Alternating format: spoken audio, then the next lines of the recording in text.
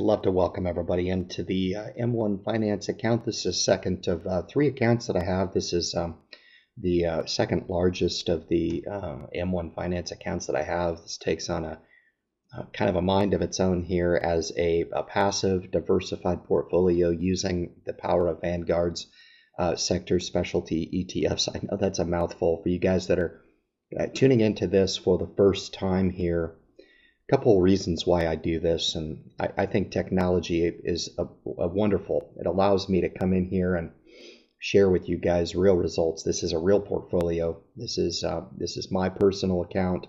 Um, it's a taxable account. M1 Finance does offer both ta uh, taxable accounts uh, and uh, Roth IRAs. Unlike Robinhood, you guys really need to double check your uh, approach here if you're looking to start a, a, beginning wealth building account for yourself, there's no better wealth building account than M1 Finance. It's just that simple.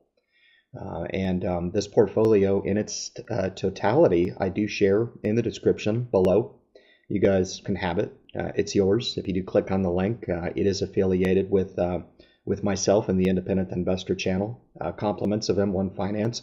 Um, I stand behind M1 Finance. I, am obviously a, a, a product user I'm an advocate for uh, advocate for M1 Finance because of a lot of different reasons. Um, these uh, the M1 Finance really takes and it takes and, and turns investing on its head.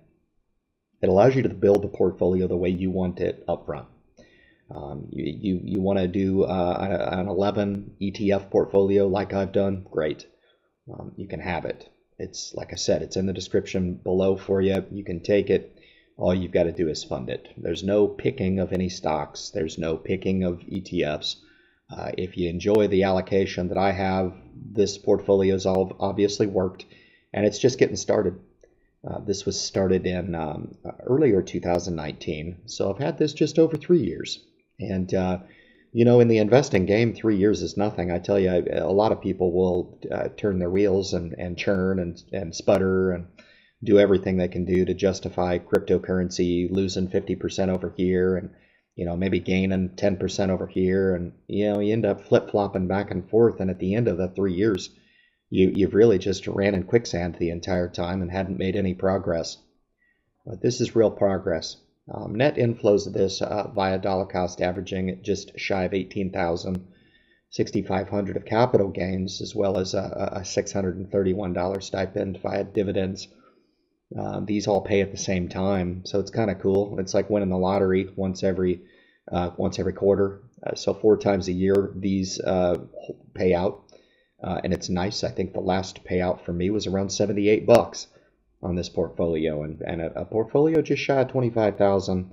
Not too shabby to start to render and, and identify with the power of, of uh, passive investing. I, I don't do anything to this, which is which is great. Uh, I free up my time. This works for me, and it works in a very, very powerful way. Uh, and so the risk to the reward is huge in that I don't really take a whole lot of risk. I buffer my downside in here by diversifying across thousands of holdings.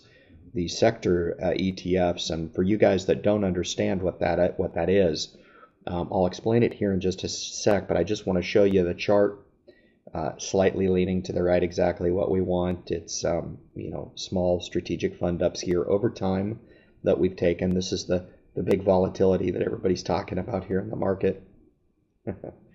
but um, here's the 11 slices. This represents the 11 sectors of the S&P. You can kind of see this is just a strategic breakdown of the markets, and you don't have to do it this way. You can own the S&P 500 outright M1 Finance, if you had the S&P 500 and M1, you would only have one ETF. And there's schools of thought that would uh, suggest that that's a, a better way to go. I own the VTI, and I own the VOO. The VOO I own in my Roth IRA. This is not a Roth, this is a taxable brokerage account. And I think the strategy that I'm looking to deploy fits a little bit better in M1 Finance. You don't need M1 Finance if you're just looking to buy the S&P outright uh, and buy VOO. You can just jam that into a Roth IRA. You can do it through M1 Finance, but I just think that it, it really fits more to the strategy of using this uh, target allocation package that comes with M1, the ability to throw a singular amount of money at M1 Finance and allow M1 Finance to disperse those dollars in a manner that you uh, designate. And I, I, think that this is just a, a better fit for M1 Finance. It is somewhat exploratory. Not everybody has to invest this way. But for you guys out there that contribute to a 401k, a 403b, a 457 type of a program, you're already getting your free match. Maybe you're with Vanguard through your 401k already, your 403. Uh, maybe you're looking for a little bit of a hybrid type of layer in the portfolio. This can satisfy that uh, investor need for um, a, a, little bit more of a, a broader based type of application which again I understand. This is wealth building for me in the capacity that I've declared to you, and uh, this volatility that's kicked up as of late has has uh, brought this portfolio down just a little bit. But you can see here the returns are nothing to be uh, ignored. Uh, these are real results. Um, these are uh, 11 investments that have um, made wonderful money for, relatively speaking, the amount of money. The biggest holding here is technology at 3200 which technology has just been crushed.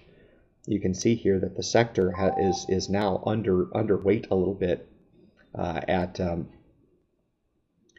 at 14% uh, target allocation and it sits at 13.4 that's due to the the recent roll off and you can see here healthcare uh, a little bit under allocated as well when you come down here to some of these other names, I think, you know, energy is probably over. Yeah, because it's just run up. And that happens with the flex and the push and the pull between the sectors. Now, while technology is selling off, you're going to find that other sectors are going to benefit from that sector rotation.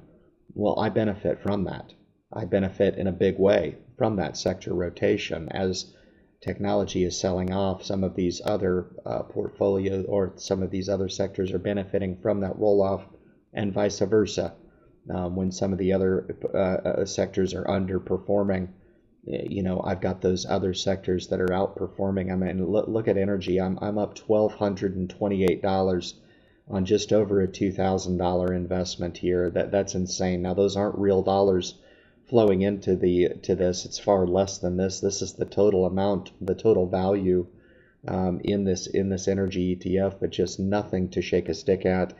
Um, again, for the amount of time that I devote to this portfolio, it really does help to provide some validation for investors out there that are looking for something uh, in way of very low maintenance, if any. I mean, this portfolio again, you could take and you could use it on your own and, and fund it with as little as you know $25 if that's what you want. You can start with as little as you want and get yourself conditioned to um, the power of investing in the stock market. But I, I demonstrate these as uh, an opportunity for young investors who are uh, looking at their options. Um, this is not to get rich overnight. And, and I think a lot of people are looking for that if that's what you're looking for. You can skip over my channel and go somewhere else uh, I, am not I'm not really interested in pursuing luck as a, a, method to my financial security in my future. If that's what you're you're pursuing, great. I can't teach you to get lucky. I can't. Uh, what I can teach you is the philosophies and the brackets of swim lanes that I've put this portfolio uh, and others that I teach upon uh, on a path to longer term wealth using diversification and dollar cost averaging in this portfolio. And this is just a part of my collective whole. And for you guys that can buy into that, I think you can uh, identify with it requires a lot less luck uh, and a lot more adherence to wealth building over time. Guys, thank you so much for tuning in to this Vanguard's uh, sector portfolio review. We'll roll these out from time to time. These are aimed to provide uh, opportunities and testimonials to what is possible with the power of investing in the stock market. Guys, thank you so much for tuning in, and uh, we'll catch you in the next one.